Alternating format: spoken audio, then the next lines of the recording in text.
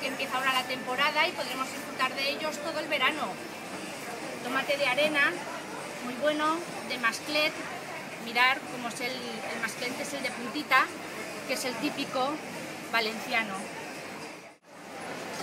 ¿Cuántos quieres? Tres. Cortamos allá. Bien dulces, bien buenos. Algunos rojitos.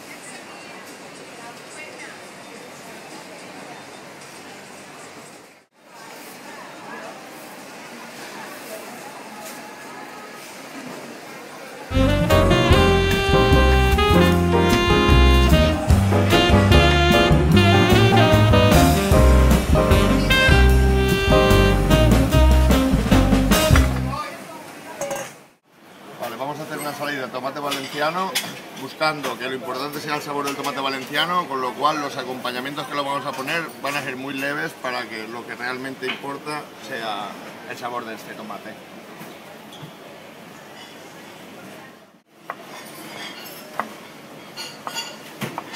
Es un tomate que, como veis, tiene muy poquita semilla.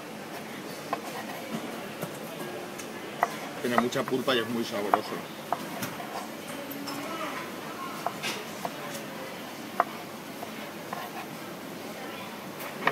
Una longaniza que es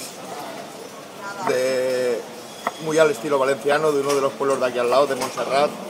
Una longaniza muy especiada y muy sabrosa. Y ahora sacamos unas virutitas de un queso valenciano, un quesito de servilleta curado, por darle un toquecito más. Como os hemos dicho, vamos a simplemente sal, sal de escama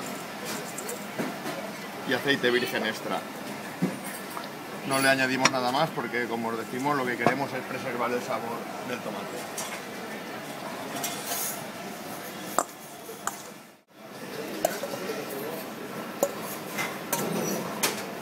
Lo pasamos al plato. Un poquito de longaniza. Unas virutitas de queso. Y le añadimos unas hojitas de albahaca que le dan un toque bueno. Las hemos frito para que no se nos suba mucho el sabor y para darle un poquito de gracia al plato. Así conseguimos darle un toque de albahaca sin que nos enmascare el sabor del tomate.